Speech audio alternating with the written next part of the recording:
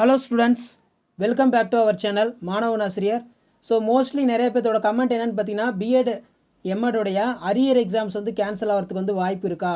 அது மட்டும் இல்லாமல் மெடிக்கல் எக்ஸாம் வந்து கேன்சல் ஆகிறதுக்கு வாய்ப்பு இருக்கா? அக்ரி லா ஸோ இந்த மாதிரி எக்ஸாமுக்கான அரியர்ஸ்லாம் வந்து கேன்சல் பண்ணுறதுக்கு வந்து வாய்ப்பு இருக்கான்னு சொல்லி நிறைய பேர் கமெண்ட் பண்ணியிருந்தீங்க. ஸோ நான் ஆல்ரெடி ஒரு விஷயம் சொல்கிறேன் ஸோ கொஞ்ச நாளைக்கு முன்னாடி பார்த்தீங்கன்னா இன்டர்மீடியட் ஸ்டூடெண்ட்ஸ்க்கு வந்து பார்த்தீங்கன்னா எக்ஸாமினேஷன் வந்து எல்லாம் கேன்சல் பண்ணியிருந்தாங்க. அதில் இன்க்ளூடிங் பார்த்தீங்கன்னா டிஸ்டன்ஸ் எஜுகேஷன் தான்.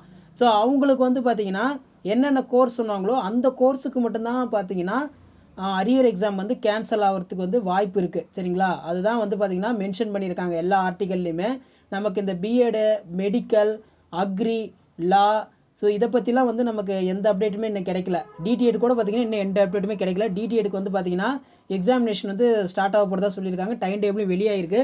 ஸோ இப்போ வந்து பார்த்தீங்கன்னா என்ன அப்டேட் அப்படின்னு பார்த்தீங்கன்னா யார் யாருக்கு வந்து இது பொருந்தும் அப்படின்னா தமிழக உயர்கல்வித்துறை அமைச்சர் கே பி அன்பழகன் சார் அளித்த பேட்டியில் மாநிலத்தில் பல கல்லூரிகள் வந்து கொரோனா சிறப்பு மையங்களாக மாற்றப்பட்டுள்ளது. இதனால் தேர்வு நடத்துவது என்பது ஒரு இயலாத காரியம்.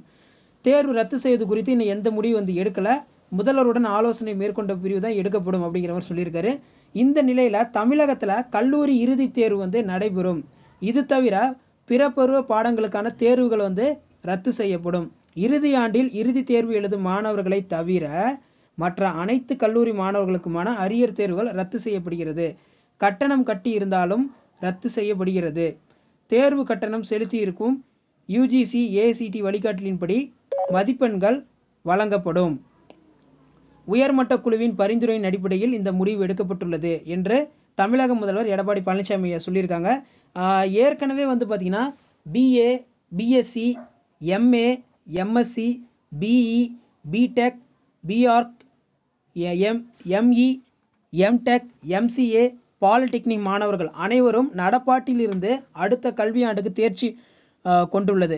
தமிழக அரசோட மதிப்பெண் விகிதாச்சாரத்தை அதாவது வெயிட்டேஜ் வந்து என்ன பண்ணியிருந்தாங்கன்னா எழுபது பர்சன்டேஜ் இன்டர்னலும் முப்பது பர்சன்டேஜ் மதிப்பெண்களும் வந்து பார்த்தீங்கன்னா அழிச்சிருந்தாங்க ஸோ இப்போ இந்த ஆர்டிக்கலில் பார்த்த இந்த கோர்ஸுக்கு மட்டும்தான் அரியர் எக்ஸாம்ஸ் அதாவது கேன்சல் அதாவது விளக்கு அப்படிங்கிற மாதிரி சொல்லியிருக்கிறாங்க.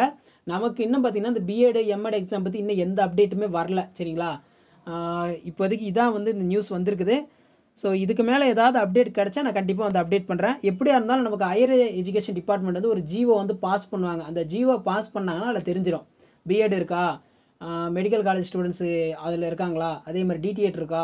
லா காலேஜஸ் இருக்கா? எம்பிஏ இருக்கா? எல்லாமே நமக்கு தெரிஞ்சிடும் வெயிட் பண்ணுங்கள் ஏதாவது அப்டேட் தெரிஞ்சால் கண்டிப்பாக அப்டேட் பண்ணுறேன் மறக்கா சேனலை சப்ஸ்கிரைப் பண்ணிட்டு போயிருங்க. கீழே இருக்கிற பெல் ஐக்கானை கிளிக் பண்ணிட்டு போயிருங்க. அப்போ தான் உடனுக்குடன் நீங்கள் எல்லா எக்ஸாமினேஷன் பற்றி அப்டேட்டுகளை வந்து தெரிஞ்சிக்க முடியும். நன்றி.